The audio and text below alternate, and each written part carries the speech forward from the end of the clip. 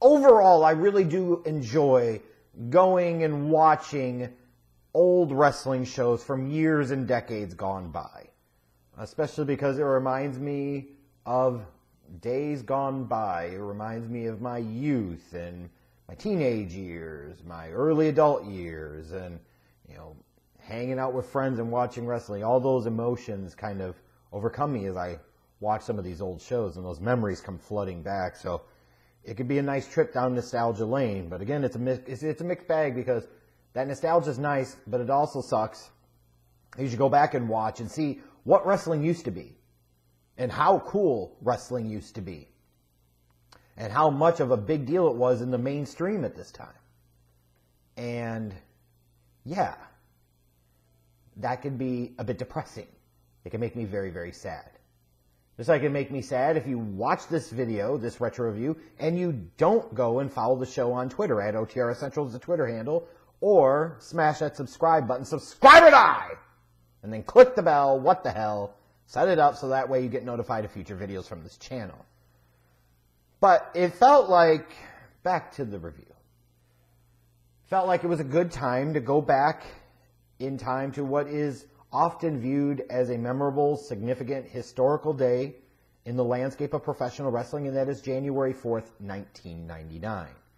And that day, throughout the past couple of decades, has been held up as a shining example of WWE supremacy and superiority, a day that WWE emerged from, WCW dropped the ball, and the WWE, WWF at the time, never looked back. And I will say this like, it sounds great. The packaging has been well crafted over the past 21 years. And the consistency with which some of the propaganda, as I will call it, the pro WWE propaganda and spin at that, has been delivered, has been expert. It absolutely has been expertly done. Uh, and the WWE has done a kick ass job of crafting and honing the message. But the reality is a little bit different. The reality is, is that even at this time in 1999, you know, while WWF did a better rating for the show, if I recall correctly, this did around somewhere like a 5.7 or a 5.8, and WCW, it was around Nitro was last two hours, it was like a 5.0.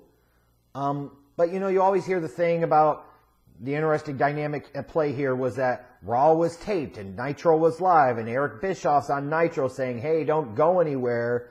Uh, we've got everything you need to know about the other show later tonight. Mick Foley's going to win their world title." And then you get the comment, "Well, that'll put some butts in the seats." And then you always hear about the, "Hey, as soon as they said that, 800,000 people flipped over to uh, watch Raw," and that's just not really backed up by the evidence. It sounds great. It seems great. But when you look at those quarter hour ratings, I don't know that that necessarily truly backs that up. Again, sounds great. And the WWE's been so consistent in the delivering of that messaging. Like, you could run a political campaign off of the strength of that type of messaging. Well, or you spend $100 million on two Senate campaigns and you lose. But it's interesting because this was the night, of course, that you had the infamous finger poke of doom on WCW's Nitro, where uh, Hogan and Nash did some straight up brother bullshit. And I always point to that as one of the leading examples of what led to the death of WCW. And again, especially the numbers the next few months in 99, just really don't back that up. They don't. So I wish we could look back at this moment or this date in wrestling history and view it less from a WWE ball washing standpoint and more of a these were this was a time where you had two wrestling shows doing monster numbers, drawing monster ratings, monster viewership for wrestling. And they are two shows that will live in time in wrestling history in perpetuity forever. There should be more focus to talk about that and less about like who won that day and how that put the WWF ahead for good. And it's just all bullshit. We should be better than that. But I will tell you, like going back and watching this show, you feel like you're transported to another time. And for those of you that are watching me that are much younger, that either weren't even born by January 4th, 1999, or you were so young that you weren't watching wrestling or can't remember watching wrestling, or you weren't watching wrestling at the time, I, I cannot tell you how different everything about a show like this feels. Like from the very beginning, the corporation and DX promo segment kicks it off. And this was the setting of the theme throughout the night. It kind of all revolved around Vince McMahon, ultimately. But this was a show that ultimately revolved around heat and conflict between HBK, the commissioner, and Vince McMahon. This dealt with Vince McMahon and his spot in the Royal Rumble later that month, where before he had drawn number 30, and Shawn Michaels ultimately reminds him as the commissioner that he has final say so. And once Vince McMahon decided to get in the Rumble, he becomes a wrestler. So now he, he reports to him. So he named him number two. Like, then you have the mankind element, mankind and what's happened with him. You have The Rock coming into his own, like so many things here. The only thing that was irritating about this opening promo segment, it was very, very well done, is those stupid fucking laser pens. I cannot tell you how irritating and aggravating those things used to be. Even at the time, I never got the trend. I never got into it. I never understood what the appeal was. I thought it was freaking stupid. And so many of you guys that might go back and watch some of these shows from the 98, 99, 2000 era, you, are wondering to yourself, what the hell? Did everybody have sniper rifles? I'm sure you know what it was, but it, it, goes, it gets so grating and annoying having to go back and watch it. It was like the laser pen version of the what chant. It was the what chant before the what chant became the what chant. And I hated every freaking minute of it. But when you look at how this show played out, you know, it was all centered. It all had a couple of common core themes and it was heavily featured throughout the night. They split it up and mixed it up and did an incredible job of it. But you look at this show at this time, early 1999, you can't believe that a lot of the same people that were overseeing this at that time, specifically Vince, would be the same people putting out the type of crap that they put out for Legends Night for the first Raw of 2021. And you come out of that opening segment and you go right to something different. It's a match between Ken Shamrock and Steve Blackman, matchup of two legitimate badasses. You've got Dan the Beast Severn at ringside with his neck brace. This goes back at a time where WWF was big shit and the UFC for the most part was largely insignificant. It absolutely was, but you were still, in this case, you're dealing with legit characters. You had somebody from the corporation, somebody not from the corporation. You know, you get the perfectly executed run in by Billy Gunn. Oh, well done match. It gives you something different from what you got in that opening segment. Man, seeing that George Carlin 10-10-220 ad, that was a throwback if there ever freaking has been one. And then when you come back from that commercial, it's awesome that Shamrock and Billy Gunn are fighting. Like usually now you would get no follow-up or you would get some really lame ass interview with very poorly worded questions with a crappily written and crappily delivered and executed promo. Instead, you come right back and it's Shamrock and Gunn brawling. It was, it was great. Like you don't just don't see that shit anymore. Then you come back and you've got Mankind comes in the ring and he's talking about he wants a shot at The Rock and the WWF Championship at the Royal Rumble. And this is where the other primary theme of the night comes into play. It's about mankind and his desire to get to the Royal Rumble and face off against The Rock for the title. And Vince McMahon sits there and tells him, you know, that's not going to happen. But if you want a shot at the title, you're going to have to fight Triple H tonight. And Mankind was kind of adopted quasi by DX at the time. They usually do all this shit. Like they could, they could pivot and turn with characters and stories really, really quickly in a way you would never ever see them be able to do now and Mankind has got to face Triple H. And if he faces Triple H and beats him, then he wins a spot in the Royal Rumble. That's all Vince is going to give him. And it became a theme of how things played out throughout the course of the rest of the night. Then, in the meantime, he had some kind of filler here, but even with the filler stuff, you go back and watch. It's sexual chocolate Mark Henry versus Goldust. Like, even if there wasn't a ton of story between the two guys, at least you had two characters. You don't get either of that now. You would at least, everybody had a purpose or everybody had a story on TV. Everybody had something. And Sexual Chocolate's big thing was his lust for Chyna. Yeah, we're going way, way back here for Sexual Chocolate. It's sexual, baby. Mm-mm. I'm gonna give it all to you. and Chyna with the trans looking lady and talking about how she basically was setting up for a threesome in Mark Henry face. now that was good attitude era sensationalism stuff. Just like Godfather versus Test. You know, the Godfather was the Godfather. Godfather was so freaking cool. And Test was part of the corporation at this time. And, you know, Test looked, looked the part like he was going to be a future big time player here. Um, and again, this match had the Godfather. You got to see the hoes. Like, it's all good. But then you get to the kind of one hour main event, the mid mid show main event, and it's Mankind versus Triple H. Shane McMahon's made the special guest referee earlier in that promo segment by Vince McMahon. Again, everything tying back to Vince. That's why Vince was so instrumental during the Attitude Era. And I argue the most inter- instrumental character out of anybody, the biggest star out of anybody, because everything had to funnel through him. Everything came through him. Everything that went through him became better because it was associated with him. Like you'll notice one big name from this time that I have not mentioned at all is Stone Cold Steve Austin. We'll get to him, but the only real reference you had was at the very opening promo when Shawn Michaels talks about that he has a stone cold surprise for the corporation tonight. And then you have the commentators, Michael Cole and Jerry Lawler, talking about the stone cold surprise throughout the course of the night. That's what you got. But the whole thing was Shane McMahon's going to call the match straight down the middle until he gave Triple H the quick count for the victory, and now he's screwed mankind. And in such a fitting thing for a Triple H and what God would become down the road. Like he was just a baby God at this point in time. Is saying, you know, business is business and a shot at the rumble is a shot in the rumble and I've got to take it. But then he crotch shots Shane McMahon and tells mankind he's all yours. And then he puts Shane McMahon in a submission move, which leads Vince to coming out. And mankind now makes the, de- makes the declaration that he's not going to let go of Shane McMahon until he gets what he wants. And he doesn't want The Rock now at the Royal Rumble. He wants The Rock tonight in the main event. If you did this kind of crap in today's wrestling, companies would get crucified for it. What do you mean you're going to take a guy from wrestling for a spot in the Rumble and then he loses and then immediately he's making a declaration now he wants the championship match and you're going to give it to him in the main event?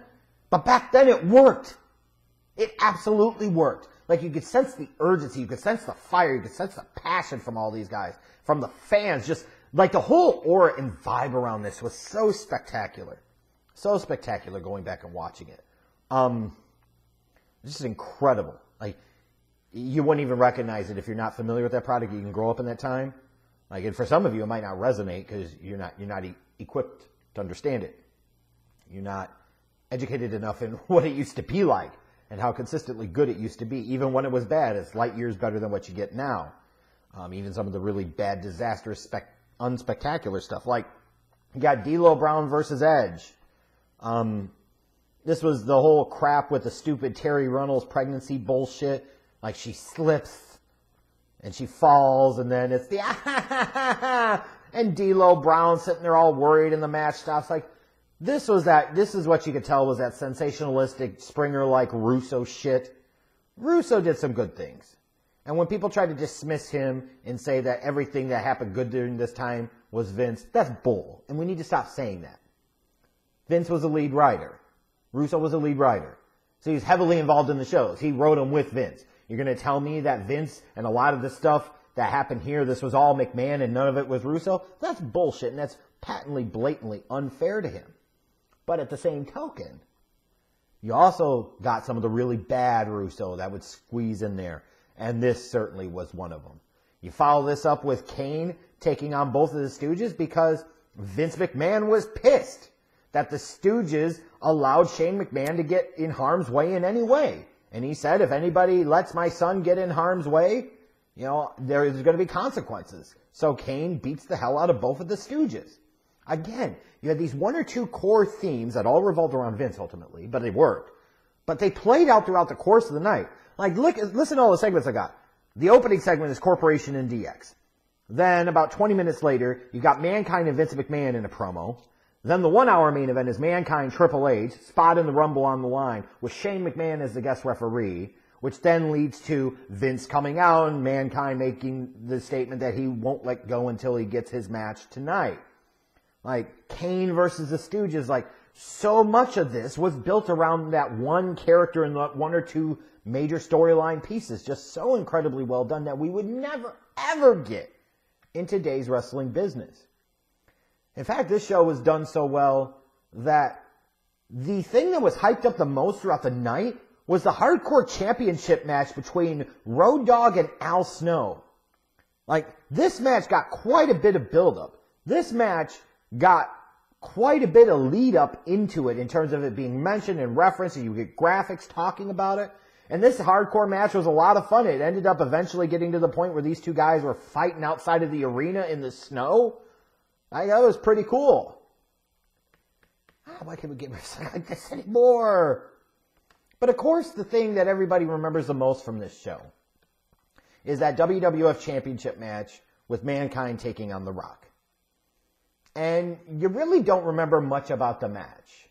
And the match was kind of the match. You had the corporation was out there, you had DX was out there, you know, and then after a little while it became a bit of a schmaz. And then you get to the big boiling point, which is Austin's music hits. And here comes Austin. He's a cussin'! He's a fussin'! And he's walking down the ramp. And Vince and Shane are like, no, and Vince is trying to get him to stop him. And Austin comes in, grabs a chair, and gives The Rock one of those good clean headshots you could never fucking get away with in today's wrestling world. But back in 99, oh, it's a concussion, bitches!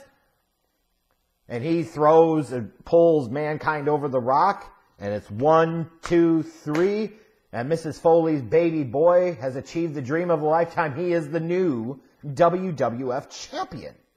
And the crowd was super hot for this, obviously. Like, this is a phenomenal moment. You know, and the commentators, I think, and especially Michael Cole, I think it's one of the highlights of his career personally. For all the people that said he couldn't do it, you know, like the way they ha- hyped this up, that this was a legitimate surprise, it was a legitimate upset, helps The Rock.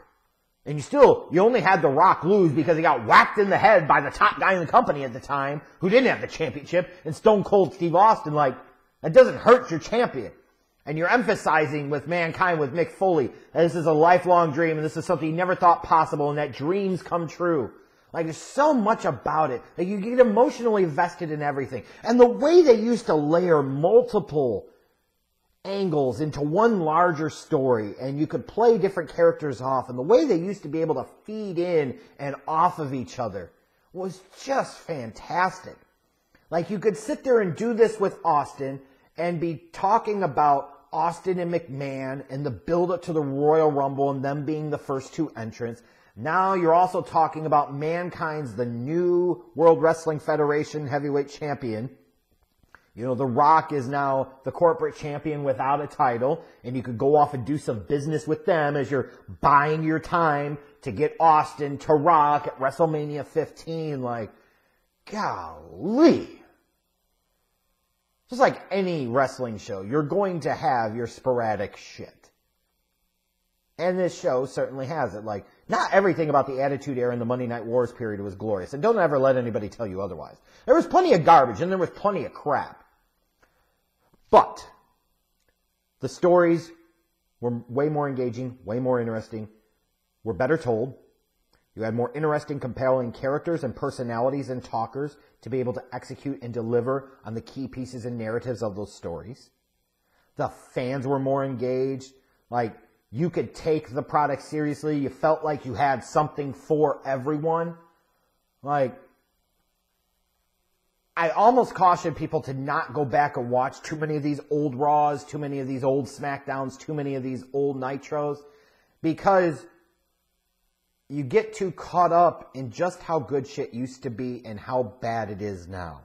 We went from stories, characters, personalities, drama, suspense, cliffhangers, big payoffs to flippy, fucky, nobody gets heat, nobody gets over, nobody gets really emotionally invested in any of these guys type of wrestling.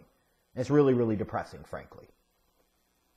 But yeah, this is a was a fantastic show.